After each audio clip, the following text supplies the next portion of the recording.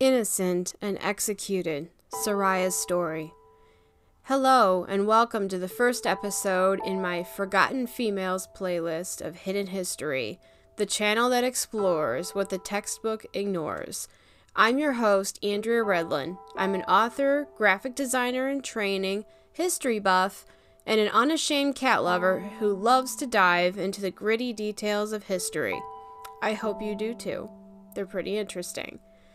Now, the Forgotten Females playlist is about, as you've probably guessed, history's women that you've likely never heard of. Everyone's heard of people like Marie Antoinette, Cleopatra, Mulan, but this playlist is devoted to the ladies who don't have quite so much fame. They deserve a chance in the spotlight, so I'm going to see that they get it. Now, history has many dark tales, and this week's episode will be about one of them. Get yourself some coffee because it's going to be a long one. Maybe go for a walk or do some of those chore household chores while you're listening. Now, this is a story that needs to keep being told, as it deals with an act of great evil that is still happening in the world today. Some of the topics in this story may be disturbing to some viewers, Expect descriptions of graphic violence, mentions of rape, and abuse. Listener discretion is advised. Prologue Alright, my hidden ones, come with me as we travel across the globe to bum, a tiny Muslim village in rural Iran called Kupaye, which means at the foot of the mountain. The date is August 15th, 1986. It's almost dusk. Gathered in the village square is the entire town, about 250 people, but one individual stands out from the rest. It is a young woman of 35, her lower half buried in the dusty, sun baked earth.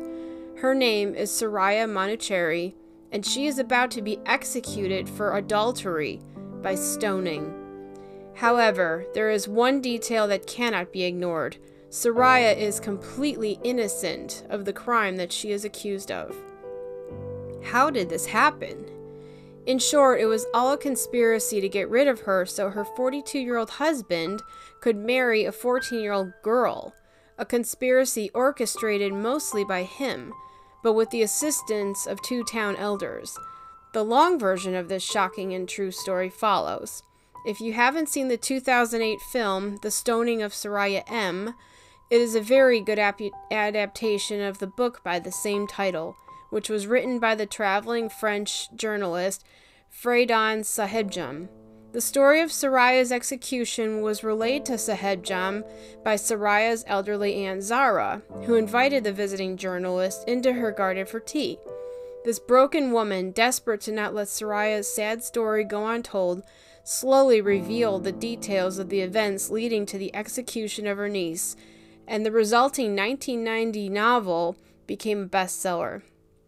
The film stars Jim Caviezel as Sahebjam, Shohreh Aghdashloo as Aunt Zara, and Mozhan Marnò as Soraya. I am going to be using photos from the movie as visual aids, but I will be using the novel as my source material for this presentation. While descriptions of the actual stoning will be included, I will not be showing any graphic images of that event from the film, as it may be too disturbing for some viewers. Chapter 1 Saraya Saraya was born in Kupaya village in 1951. It must be said that Kupaya is not the actual name of her village, as the author decided to keep the name and location of the place a secret, like the village that must not be named kind of like Voldemort. And that's probably for the best. As I began to read the book again for the first time in a few years, I came to the horrible realization that Soraya probably never had one pleasant day in her entire short life of 35 years. For starters, she was bullied by her future husband at the age of five for accidentally breaking his homemade kite, which was only the beginning of the abuse she would suffer all her life mostly at his hands. When Soraya was 10 years old, she was apprenticed to the Arbab, the village um, owner. He was the the wealthy owner of the land and houses of her village. She had to work 15 hours a day with no pay, And as if that wasn't bad enough, the Arbab made it his habit to not only beat her, but also molest her when his wife was away. Uh, don't worry though, he got his just desserts. He was eventually jailed many years later for another crime and sentenced to be hanged, which he was. Oh, that's too bad. I, I can't even imagine how how lonely and helpless Soraya must have felt during this time.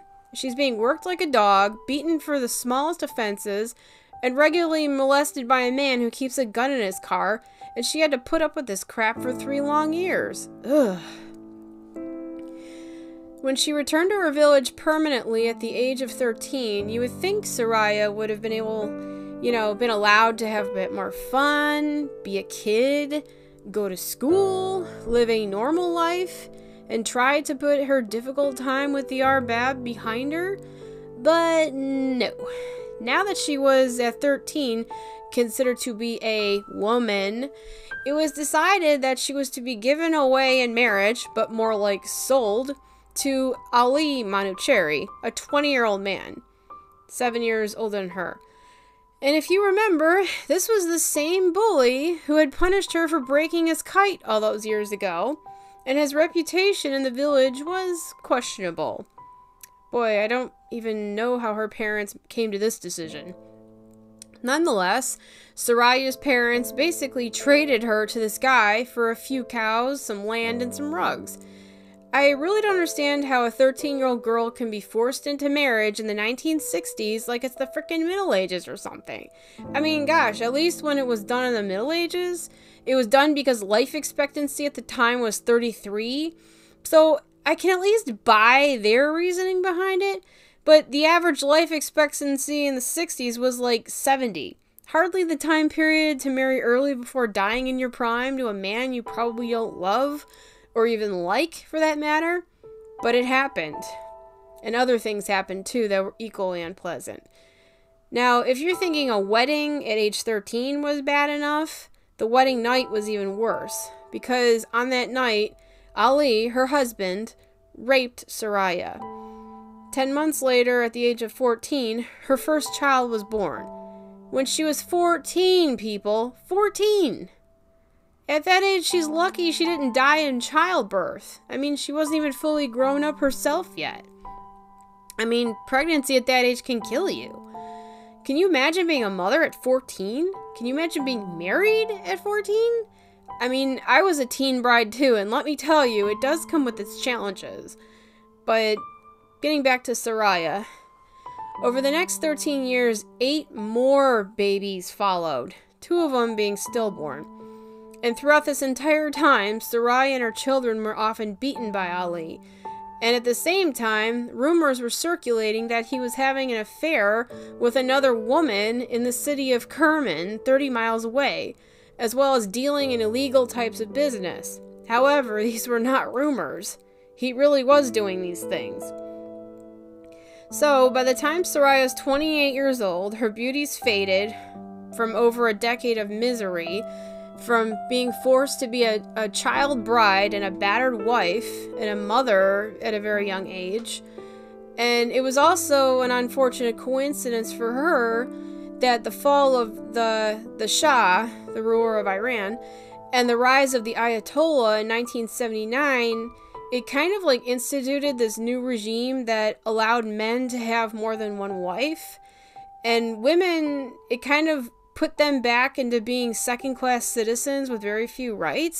So men kind of had all the rights for everything at that time. And women just basically had to do everything they were told, you know? So Soraya's in this horrible marriage. She's got all these kids. And she tells her mother that she wants to die as she's so unhappy, but there was nothing she could do to help her situation. And also, legally, her parents were not allowed to interfere. You know, the so because the authority of the men was absolute as a result of this revolution. So Ali was now spending more and more time in the city, often in the company of prostitutes, and he then he starts bad-mouthing Soraya in their village behind her back. So the villagers, they started to view Soraya in a bad light, avoid her, and speculate about really was she really a bad wife or not. Ali was only too happy to encourage this rumor to discredit her. Nice guy. I seriously think that he took great pleasure in tormenting other people, which is one of the more more um, uh, most significant traits of a psychopath. I wouldn't be surprised if he actually was one.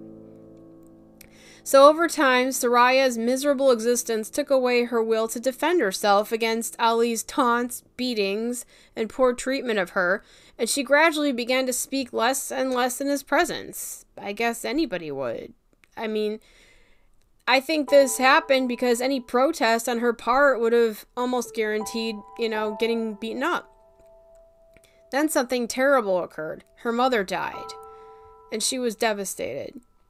However, as difficult as this must have been to endure, worse was still to come. Now, one day, Soraya was home alone, and her husband arrived at the house with a prostitute whom he slept with in the marriage bed. He didn't even know he didn't even know Soraya was there, but even if he did, I'm not sure he would have cared. Like I said, I'm pretty sure he was a psychopath because he enjoyed tormenting his wife verbally with his boasts of visiting brothels. Hold me back, my hidden ones, because I really, really want to punch this guy. I mean, seriously, how low can a person get? How can somebody be that mean to the person they're supposed to love? Now, if you're fortunate enough, my hidden ones, to be in a loving, healthy relationship, take the time to appreciate your significant other because many people are not that blessed. Okay, so now Soraya's mother is gone. Her husband is openly seeing prostitutes, treating her like crap.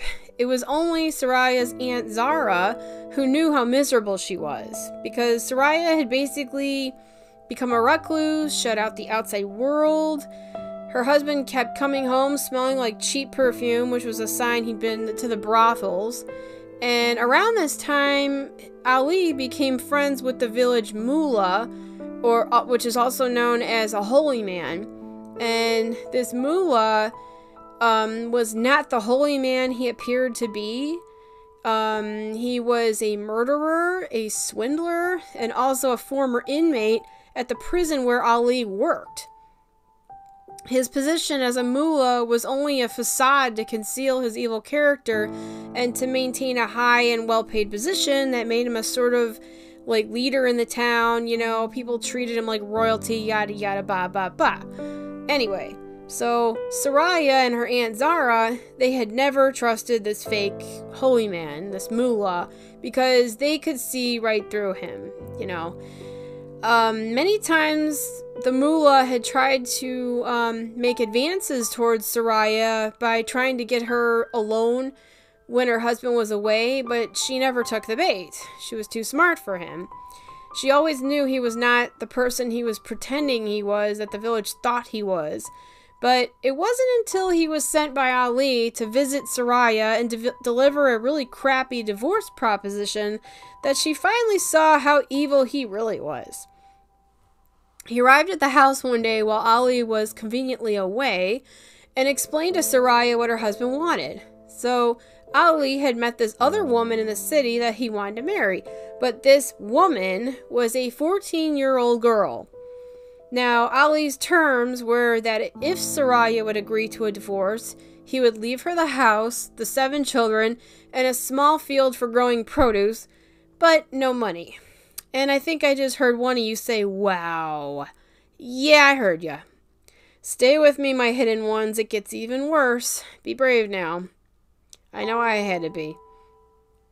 So, after this fake mullah gives Soraya the news that her husband wanted to divorce her for a child, pretty much, and leave her nothing, he then propositioned her, offering to financially support her and the children in exchange for sex. But before Soraya can make any answer to either her husband's demands or the mullah's, her Aunt Zara, who'd been in the next room listening to the conversation, um, made her presence known. She basically chewed the mullah a new one for his sick proposal. Zara, I love you. You definitely get the award for best badass aunt ever. So the mullah, scared off by Zara, fled the house, but he vowed that he would have his revenge on the headstrong old woman and her niece. So, to recap, Soraya now has two enemies that prove to be instrumental in making her execution happen. Her husband, who wants her gone so he can continue to be a happy pedophile, and this fake holy man Mullah who just wants her to choose who wants her to choose between being his whore or watching her children starve to death. Boy, Soraya just couldn't catch a break, and she never did agree to the divorce. I think it was because she was terrified of raising seven children alone with no income. I mean, that would be enough to frighten anyone, but if that was me, you know, I would have thought almost anything was better than living with such a bad husband. I would have been like, bye, see ya, get out of my life and take your hookers with you. Chapter 2 Ali. Now, sometime before Ali plotted to abandon Soraya, he had begun to work as a trafficker of stolen goods in the city of Kerman. Wow, that's an honorable man. You know, the city where the brothels were. Eventually, though, the police caught on to what he was doing and they banned him from coming back. However, that didn't stop him from bragging in his village about his city exploits, one of which included an evening with a prostitute as payment for his services. Now, this is the part that really boggles me. Why was it okay for him to openly spend time with prostitutes? A fact known to everyone in the village. You know, because last time I checked, you know, if you're married and you sleep with someone else, that's adultery. Why was it okay for him to do that, but his innocent wife, who was above reproach, how the heck could she get view, uh, accused of adultery with only the flimsiest of evidence? And in fact, there really was no evidence except his word against hers, and they took his. Fun. So, to continue on, one day, Ali secretly sneaks back to Kerman, that city 30 miles away, and he runs into an old friend. So, with his friend's connections, that's how Ali was able to secure a job as a prison guard. And while he was there, he plotted and he schemed with a few more of his evil friends to get a share of the fortune that had once belonged to the man who had molested Soraya as a child for three years. Remember the Arbab? So Ali received the following things when the guy was hanged two houses, land, access to the village stream, and about $1,200 in cash, which was 10,000 rials. And he also got the man's car. So he got all this, and he wanted to leave Soraya nothing if she agreed to a divorce? All I can say is, wow, it's just a craptastic kind of day. So now Ali thinks he's Mr. Big Shot.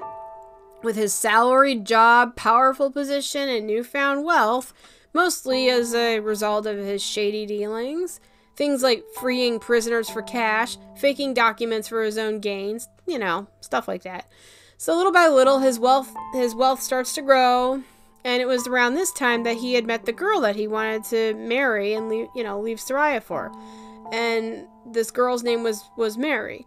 Now, Mary's father was a doctor who was incarcerated in the prison that Ali ran. With Ali thinking himself above everyone in his village, along with hating his boring life there, he just found he couldn't en- endure being married to Soraya anymore, a woman who was always silent. You know, she's become quiet over the years, yet she's above reproach. Well, dum dum, what the hell did you think was going to happen to her after 20 plus years of you beating the crap out of her and making her life a living hell? Duh! So, Soraya's silence just, you know, pissed him off even more.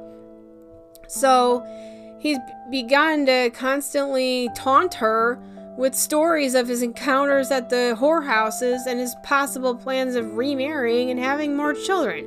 Because seven children just isn't enough to prove you're a real man, right? But as was her habit, Soraya made no complaint and was smart enough to never react. She knew it would just have been a waste of time since you can't fix evil people. You can't fix stupid people either, and in my opinion, Ali was both. Chapter 3 One Stone, Many Ripples.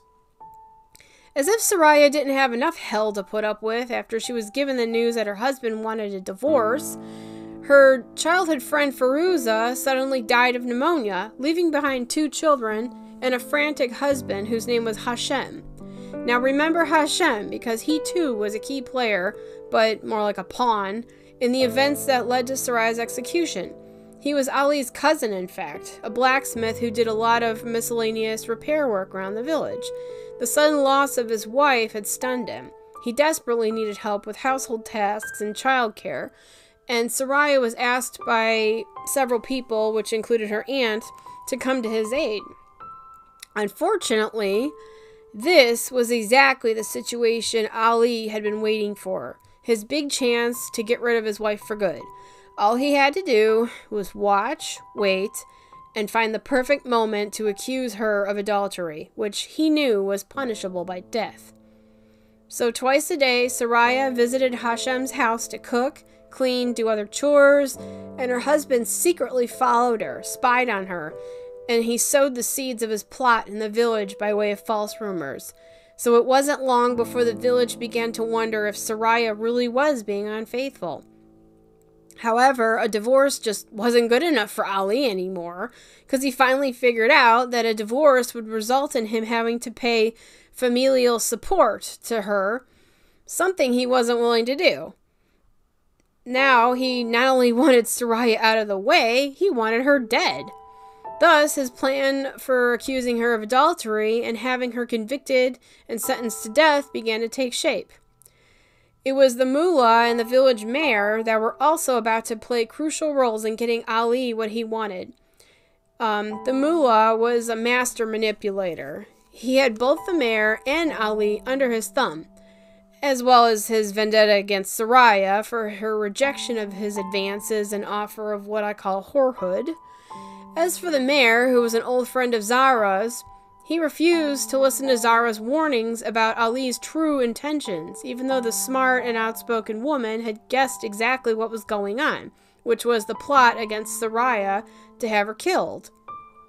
So the easily manipulated mayor, he believed all the false accusations that Ali had named against his wife neglect, being a bad mother, a bad cook, etc and now a possible adulterous relationship with the recently widowed Hashem. So he wasn't about to listen to Saraya's aunt and take heed of her warnings. Now, as for Ali, I would rather meet a stampede of scarabs rather than meet this guy. I know they say to turn the other cheek when people do bad things, but I only have four cheeks and they've all been turned. The first was when he bullied Saraya as a child. The second was when he raped her on their wedding night. The third was when he used her and their children as punching bags and cavorted with hookers during the marriage. Finally, the orchestration of her death on false charges was the last cheek. This guy gets the Jerk of the Year award in my book. Get going. Though Saraya knew of the growing plot against her, she knew she was blameless, so she really didn't care very much about it. She probably just thought everything was gonna blow over because how can an innocent woman be sentenced to death, right? I mean, I probably would have thought the same thing. Now, it was her Aunt Zara who was worried sick and tried to warn her to be more vigilant. Saraya knew her aunt was right, but what could she possibly do to protect herself in a country where women had so few rights? In the end, however, her silence, which had become an unshakable habit by now, had overwhelmed her, so she made little move to defend herself. Later, she wished she had. I don't think it would have helped her much, though. One day, just outside of Zara's house, Zara heard loud screaming and shouting. It was the sound of Ali shouting for the entire village to hear that Saraya was a whore, had betrayed him, yada yada, and the crowd joined him in the shouting, and they surrounded the young woman and they started hitting her. Zara untangled her niece from the fray and took Saraya back to her house, ordering Ali and the mayor to follow, determined to get to the bottom of what was going on. Once inside Zara's house, Ali kept shouting that Saraya had betrayed him with Hashem, even going so far to say that she was pregnant by the widower. Saraya, of course, denied it violently, but it did no good. Hashem was brought in, and instead of telling the truth that Sarai had never done or said anything she shouldn't, he told the biggest lie ever and stood there and confirmed everything. He confirmed every lie that Ali had said about his wife. I have no way of explaining how a supposedly good man, someone who is supposed to be Sarai's friend, could do such a thing. Well, since Soraya's husband turned on her, I guess friends are fair game too. Ugh. My theory for Hashem's betrayal is that it was probably a combination of grief from his wife's death and probably brainwashing by Ali and the mullah. Grieving people often do stupid things. Whatever.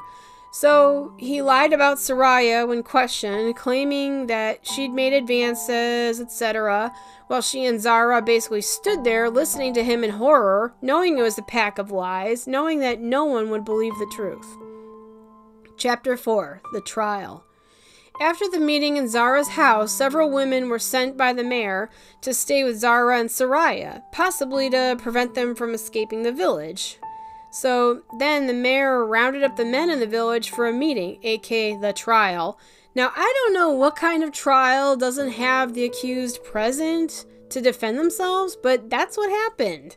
Basically, all the men in the village came together and discussed what had supposedly happened and unanimously decided that Soraya was guilty of adultery. Soraya's own father emerged from the meeting hall and screamed the word guilty when he came out, and that was when all hell broke loose. Chapter 6 The Execution.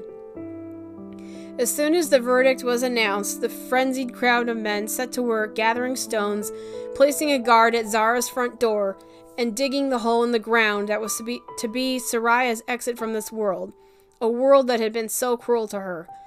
With great difficulty and with her heart breaking, Zara was forced to lead her frightened niece to the town square where the execution would take place, escorted on all sides by armed men.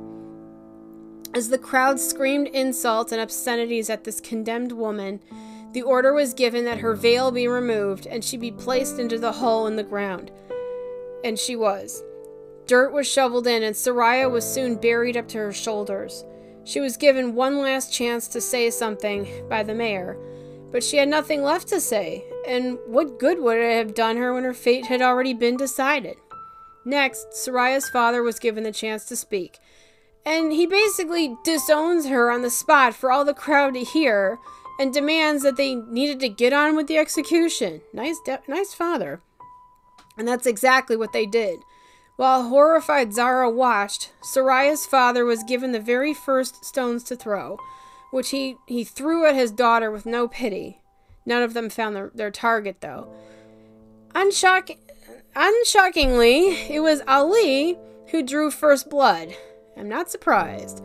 With his stones, he hit Soraya's head, shoulders, and finally her forehead, from which streamed a torrent of blood.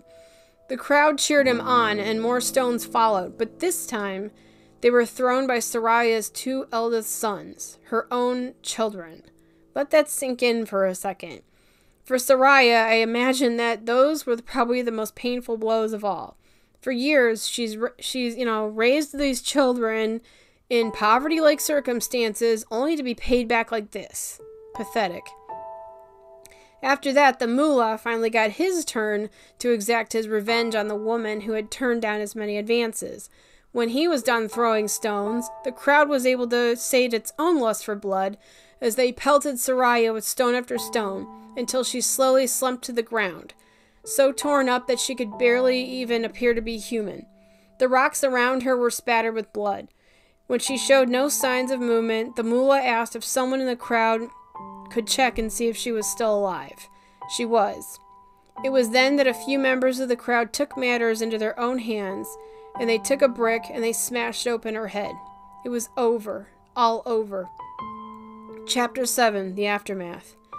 That night, the mangled body was removed from the ground, and the village women were ordered to take it far away and leave it by the river, exposed to the elements. It had been decided but the, by the same people that had condemned her that Soraya was not allowed to be buried in the cemetery or anywhere else. Led by Zara, the group of women did as they were told. Early the next morning, Zara, as defiant of orders as ever, which I absolutely love her for, snuck out of the village to bury her niece, no matter what the village elders said. You go, girl.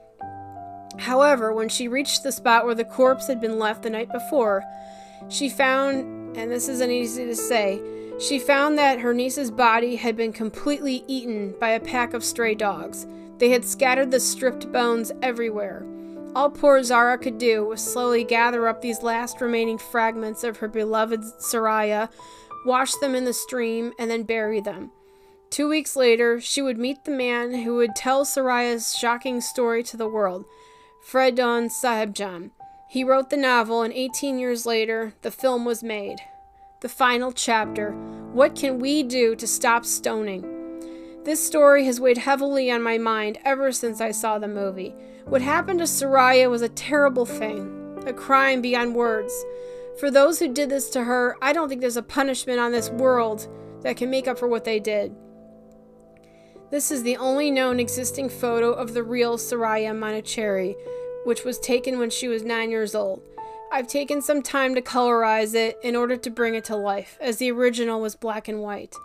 Though Soraya's execution occurred in 1986, stoning is still happening in many countries today, mostly to women. I think it's important that we don't forget Soraya and we don't forget the other women who were tortured to death.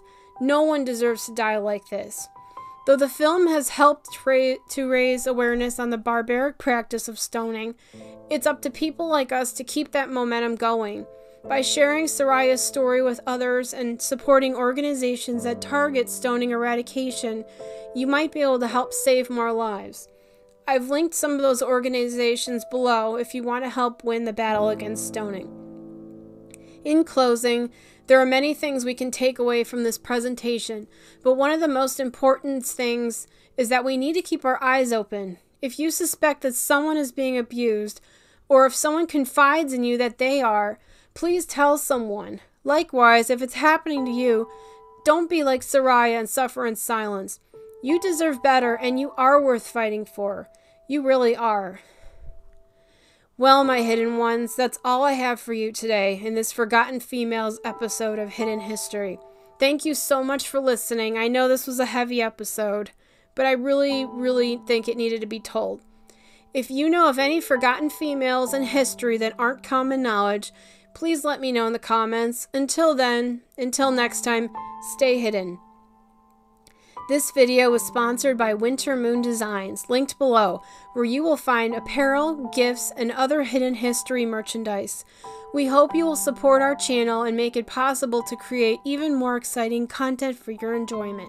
Thank you.